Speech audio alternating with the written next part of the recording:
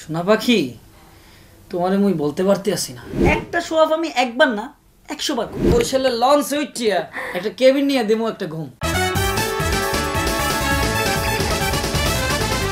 Viewers welcome to our brand new show few minutes on trigger এবং আজকে আমাদের সঙ্গে কে আছে বলেন তো? আজ আমাদের সঙ্গে আছে তৌহিদ আফ্রিদি। বলো ওই যেরকম ইয়েস আমি। তোমার থেকে তো আমার এনার্জি বেশি মনে হচ্ছে।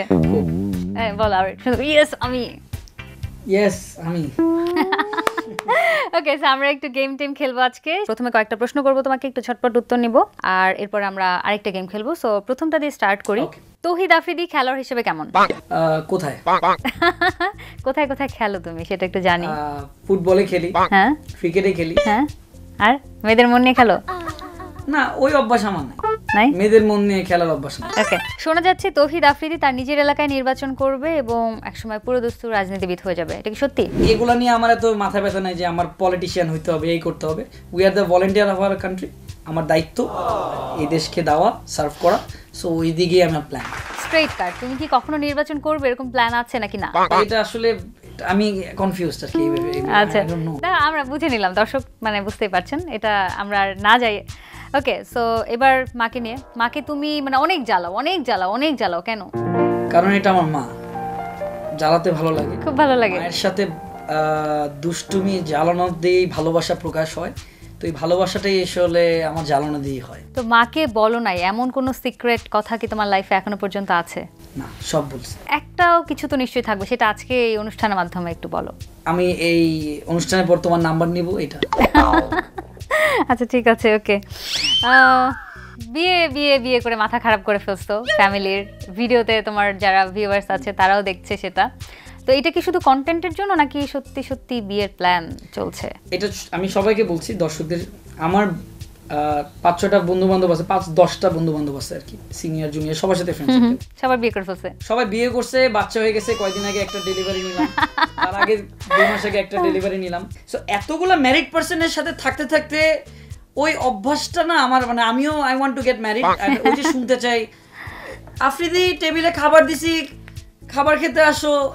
আমি এটা শুনতে চাই। আচ্ছা you are very talented because এই যে আজকে শো যারা দেখবে মানে মেয়েরা তো জাস্ট ফিদা হয়ে যাবে যে বিয়ে করার জন্য। না না এটা এটা না মেয়েরা ফিদা হয় না।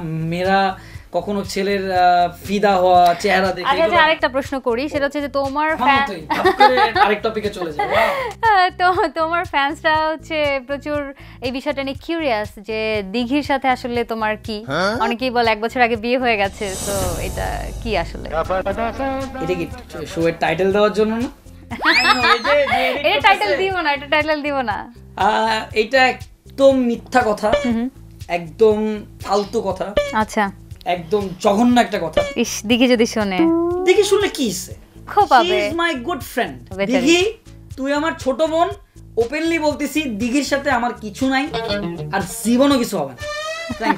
এবার আমরা যে গেমটা খেলব আমরা গেমে চলে যাই ঝটপট। সেই গেমটা হচ্ছে তুমি বরিশালের বরিশালের ভাষা তুমি জানো আমি জানি। দুই মিনিট বরিশালের ভাষায় কাউকে প্রপোজ করতে হবে। এখন সেটা তুমি চাইলে তোমার কোনো মেয়ে ফ্রেন্ডকে ফোন করেও করতে পারো। আর তুমি যদি মনে করো যে না তোমার সামনে একজন সুন্দরী মেয়ে বসে আছে তাকে করবে সেটা তোমার চয়েস এই এই যে ডিরেক্ট ডিরেক্ট ডিরেক্ট তাকাতে হবে। ডিরেক্ট তাকাতে হবে এই যে। মানে সুন্দরী মেয়ে বসাতে হবে? দেখো আমার আমার থেকে তুমি এখন এখানে কাউকে পাবে না। তোমাকে আমার বরিশালের ভাষায় প্রপোজ করতে হয়। কিউ স্টার কি অবস্থা আফ্রিদি? কেমন আছো? সোনা পাখি তোমারে মুই বলতে পারতে আসি না। ওই যে বাগানের পিছনে যে তুমি আইতে বদনা নিয়া তোমার দেখে আমার যে প্রথম প্রেমে যে ভালোবাসা পড়ছি। ওই নারিকেল গাছ আছেই তিনটা। দেখে আমি এত প্রেমে পড়ছি যে আমার মনটা শুধু তুরুপ তুরুপ তুরুপ তুরুপ করে। তোমারে লইয়া বরিশালের লঞ্চ হইটিয়া একটা কেবিন নিয়ে দেবো একটা ঘুম। তুমি আমার একটু ভালোবাসো। একটু ভালোবাসার প্রস্তাবটা একটু লই নিয়ে নাও। ওই তোমার নিয়ে সংসার করতে চাইতে আছি। প্লিজ ভালোবাসো আমাকে। প্লিজ প্লিজ তুমি বরিশালের লঞ্চ আমার নিয়ে কেবিন দিয়ে কেন যাওয়া এটা গান দিলাম that's why. একটা গান গাইস আপনারা এটা অন্যভাবে নিয়েন না জাস্ট ফান করতেছি আমি। আচ্ছা ওকে ফাইন এবার আমি তোমাকে প্রপোজ করব এবং এখানে যারা আছে তারা মানে সিলেক্ট করে বলবে যে আসলে কার প্রপোজটা ভালো হয়েছে এবং কোনটা অ্যাকসেপ্ট করা যায়। সব শুধু সবাইকে প্রপোজ করে না সবাইকে কেন করব? তুমি তো special you have to understand so যেটা ব্যাপার সেটা হচ্ছে আফ্রিদি তোমার ভিডিওগুলো আমি দেখি। তুমি তোমার মাকে অনেক জ্বালাও এবং তোমার মা যখন মানে ডিস্টার্ব ডিস্টার্ব হয়ে একদম শেষ মতো তুই আমার এত জ্বালাস কেন? তো এটা বলে না মানে এই এক্সপ্রেশনটা আমার খুব ভালো লাগে। তো আমি চাই যে সারা জীবন একদম মানে সামনে থেকে তার এই এক্সপ্রেশন দেখব এবং গালি দিতে দিতে সে যখন অস্থির হয়ে পড়বে তার বাকি গালিটা আমি তোমাকে সারা জীবন দিতে চাই। উইল ইউ ম্যারি মি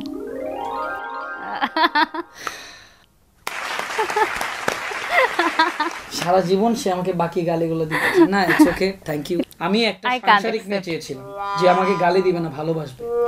যে আমার মাকে খেয়াল রাখবে আমার বাবাকে খেয়াল রাখবে। কিন্তু সে আমাকে কীভাবে প্রপোজ করছে? বলছে আমাকে গালি দিবে। আমরা কি গালি শুনব? আপনারা বিচার করেন। এর থেকে ভালো। এর থেকে ভালো সে কোথায় পাবে? এইটা আপনারা চান নাকি? সে সাংসারিক হয়ে আমার বাবা মার খেয়াল রাখবে আমাদের আমাকে খেয়াল রাখবে এবং আপনাদেরও সবসময় চাহিদা পূরণ করবে যে আপনি কীভাবে চলবে না চলবে। সো এটা এটা ঠিক করলে না তুমি এটা ঠিক করলে না। কেন জানো? কারণ বিয়ে করবে তুমি তুমি কেন বাকিদেরকে বিচারটা দিলে?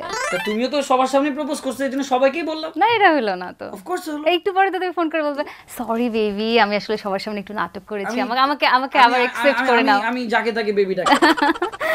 ঠিক আছে ওকে আমরা মেনে নিলাম। এবার হচ্ছে টাটা বাই বাই বলার পালা। আজকের গেম শেষ ওভার এবং থ্যাংক ইউ সো মাচ একটা ব্যাপার অনেক সময় দেখি, অনেক তোমাকে নিয়ে কথা হয় যে তুমি অনেক শো অফ করো। একটা, দুইটা টাকা মানুষকে দান করেও বা টাকা দান করেও তুমি শো অফ করো। বিভিন্ন জায়গায় কাজ করতে গিয়েও শো অফ করো। কিন্তু আমার জায়গা থেকে আমি তোমাকে স্যালুট করব এই কারণেই যে এতগুলো মানুষ তোমার কাছ থেকে সাহায্য পাচ্ছে। এটা আসলে অনেক বড় ব্যাপার। আসলে দেখেন, আমি একশো টাকা কোথাও হেল্প করলে, সেখানে যদি আমি ক্যামেরার সামনে বলি যে আপনারা আরও একশো টাকা দেন তাহলে সেই লোকটার কিন্তু আরও উপকার হয়। আর এটাকে যদি আপনারা শো অফ মনে করেন তাহলে এটা তো আমার কোনো যায় আসে না। ওই একটা শো অফ দিয়ে যদি আমার একটা মানুষের উপকার হয় তাহলে আমি এই একদম। একটা শো অফ আমি একবার না একশো বার করব। একদম। আর আমি যাওয়ার আগে একটাই কথা বলব আমরা এতক্ষণ যা করছিলাম দুষ্টুমি করছিলাম এবং সবই আপনাদের এন্টারটেনমেন্টের জন্য করছিলাম। সবাই আমাদের যদি কোনো ভুল ত্রুটি হয় ক্ষমা করে দিবেন হাত জোর করে কান ধরে ক্ষমা চেয়ে নিচ্ছি। অ্যান্ড সবাই আমাদের জন্য দোয়া রাখবেন। আমরা সবাই একটা পরিবার। দিনরাত কষ্ট করি। বাংলা ভিশনে সবাই কষ্ট করে। ক্যামেরার পিছে সবাই কষ্ট করে। শুধুমাত্র আপনাদের একটু হাসি ফোটানোর জন্য। এই হাসিটা ফোটানোর জন্য আমাদের দিন রাত পরিশ্রম করি। একটু দোয়া করবেন আমাদের সবার জন্য।